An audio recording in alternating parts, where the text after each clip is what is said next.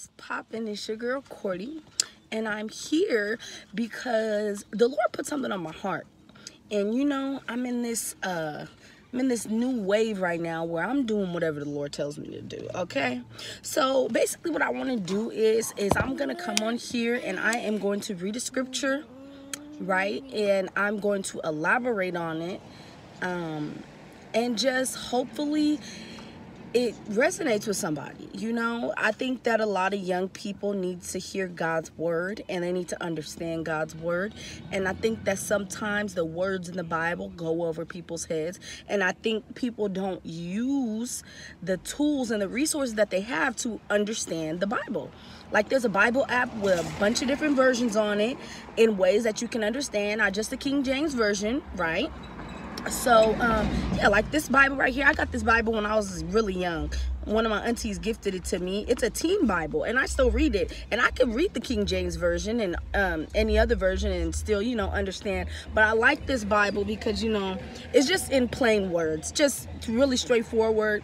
However the king james version i feel like it's uh it's a good version to read for one because you can hear you kind of feel like you know you can hear jesus. Exactly. If that makes sense you know?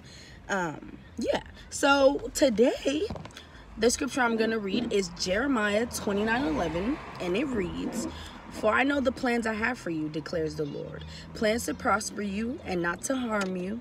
Plans to give you hope and a future.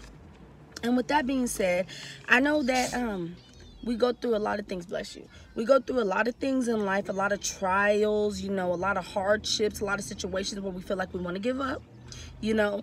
And um that's what life is. But what we need to understand and grasp is that jesus doesn't want us to fail. He doesn't want us to give up you know? He wants us to lean on him okay? He wants us to know that he put us here for a purpose okay? And that all we have to do is listen to him seek after him okay to give us the guidance to get through whatever situations we're going through and he will prosper us. He wants you to live a life of abundance. He wants you to have the life that you've always dreamed of. You know what i mean? He doesn't want you to be you know in a sunken place. He doesn't want you to be depressed.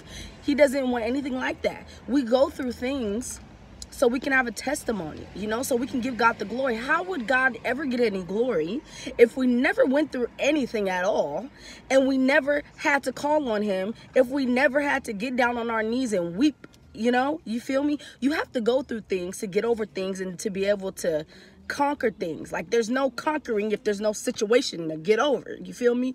So don't get so caught up and wrapped up in situations that the world presents to you with your eyes. You need to know, you need to think with your spiritual mind and understand, okay, I'm going through this so God can get the glory. God wants me to go through it so I can get through it and then I can give him the praise. You feel me? Like it's it's really easy to understand. It's really easy to understand. And I just want you to really grasp that, that God only wants the best for you. Even if you feel like you're going through things and you're like, God, why do you keep taking people out of my life? God, why do you keep, you know, people, we get like that. We really do get like that and we get to blaming God. But what we need to understand is that God wants us to succeed. Okay. Your whole everything he, that goes on here is so that you can make it back to heaven. Do you understand that? God wants you to live with him forever. Every day on this earth is a test. It's a test of your faith, the, a, a test of your endurance as well. Okay? He wants you to endure the hardships that you face while you're down here. Okay? Because it's like um, God needs, for the people that are not believers, you know, he needs people to be examples. You feel me? He needs people to be examples. Now, let me explain something to you. Me, I had to be used as an example before so I could be able to be right here in front of you to say what I'm saying. Because had I not been through the things that I've been through, I wouldn't be able to connect and resonate and understand and be able to explain anything to anybody else. Okay? So, with that being said, trust God. Okay? He has the blueprint for your life. He's the only one. We seek after um, validation and advice from other people, other people that are in the same exact test as you. They don't have the answers. Only God has the answers, okay? That's like the blind leading the blind, okay? Seek after God, seek after his wisdom, seek his guidance, okay? He knows the path you need to be on. He knows the path to take. He knows the way you need to go. He has it all, okay? So don't get wrapped up in the things you're going through because this too shall pass. Everything you go through, temporary, okay? Give God the glory every time you overcome something. God only wants the best for you. I want the best for you. I love you. And God loves you even more because He is the one that breathed life into you. God knew you before you even came out of your mother's womb. He He already knew that. He He knew the things you were going to go through. He knew the tests you were going to have. He knew the temptations you were going to have. He knew your weaknesses. But He has also equipped the Holy Spirit inside of you to defeat any of those things that come in your way to try to throw you off. Okay? So, with that being said, I want everyone to just bow your heads right now. And I'm going to say a prayer. And then I'm going to close this out. Okay? Period. Dear Heavenly, most gracious Father, I just want to come before you right now, Lord, and say thank you, Jesus. Thank you for all you've done. Thank you for everything you're doing, and thank you for everything you're going to do. Thank you for choosing me. Thank you for choosing those under the sound of my voice right now, Lord. Thank you for guiding us. Thank you for loving us.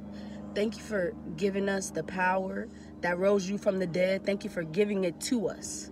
Thank you for helping us realize our authority, Lord. Help us to always know that you want the best for us. Help us to always seek you in times of doubt and times of temptation, Lord, and in those trying times when we turn and we don't see anybody.